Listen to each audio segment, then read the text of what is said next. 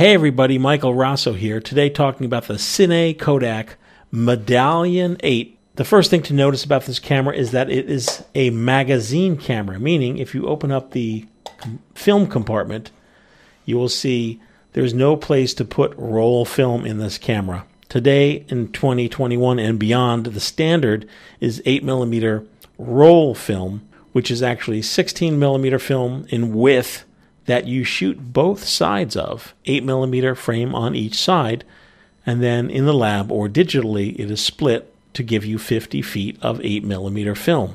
If you are shopping for a camera, I don't usually advise to go for a magazine camera because new magazines are almost impossible to find. It just so happens that this year the Film Photography Project is offering 8mm magazines but with such a short supply of magazines, I think you're better off spending your hard earned cash buying a roll film camera, the type of camera that takes 25 foot roll film. The first thing to note about this camera is that it takes no batteries. It's a wind up camera. So on the one side of your camera, you have the winding mechanism. In the front of your camera is your lens and your shutter. Also on this side of the camera is a this is the focal length for your eyepiece. So when you're looking through the camera, you're not looking through the lens, you're looking through a parallax view. So you're not actually looking through the lens. So on the side of the camera, you have this little slider bar which changes the focal length based upon what lens you have on your camera.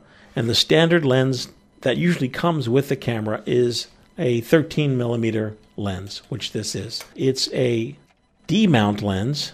So it comes off, and you can go online to a place like eBay.com and you could purchase the additional lenses that, that are made for the Kodak Medallion camera. Front of the camera, here's your lens. You do need to set your f stops. It goes from f1.9 to f16. And you do need to uh, focus. On the other side of the camera is a little handy chart which you need to completely ignore because this chart was designed to help you choose what f-stop to put onto your lens. But these days, the film speed is so much different that this chart will just get you in trouble. it will greatly underexpose or overexpose your film.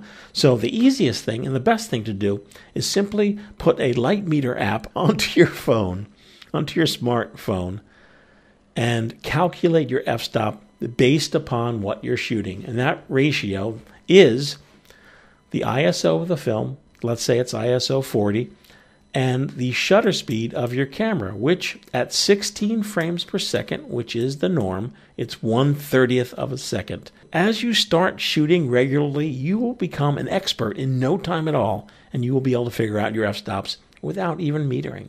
So, on this side of the camera with the meter that you need to ignore is where the this is the film compartment.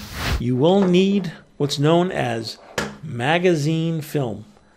And uh, in this year and beyond, you can get this magazine film at the Film Photography Project, filmphotographystore.com.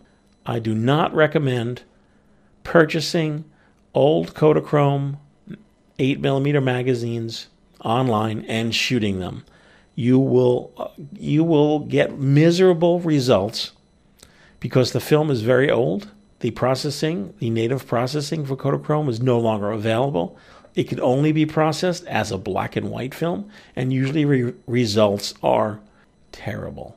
The magazine contains 25 feet of film, and you shoot both sides of it. So you would take side one, put it into your camera, it just clicks in. Important thing to know with the medallion camera is there's a reset button, which is very important and this will reset the counter on the back. And this is very important because it will tell you how much film you have left and tell you if your magazine is even operating properly. Also, on the back of your camera is the frame rate. And you want to shoot, in my opinion, at the 16 frames per second. This is the normal for, for 8 millimeter. Quick note Reversal film is a positive film, which you could either project in the projector or get scanned. Negative film is not for projection and is only for scanning. I know many folks out there, like myself, have a digital workflow and are not projecting, but there are a lot of people who also want to shoot a roll of film and project it in a vintage projector. When you're done shooting side one of your 8mm magazine, you will open the side of your camera and you will you will take out your cartridge it says side 1 and you will literally flip it to side 2 don't forget to reset your frame counter so that you are starting at 25 again. Insert side 2 and now you're ready to shoot your second side of your film. When you're done with side two, you will you will remove your magazine. Uh, under no circumstances uh, are you to open the magazine.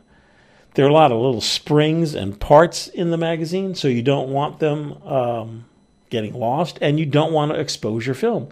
So if you did a purchase, a bundle purchase from the Film Photography Project, we are offering 8 millimeter and 16 millimeter magazine bundle packages. You will simply take this with your film form and send your film back to the FPP, where we will take the film, extract the film, develop it, scan it, and send you your results. That's a quick overview of the Kodak Medallion camera. Uh, if you have any questions or comments, you can leave it down below or send me an email, michael at filmphotographyproject.com.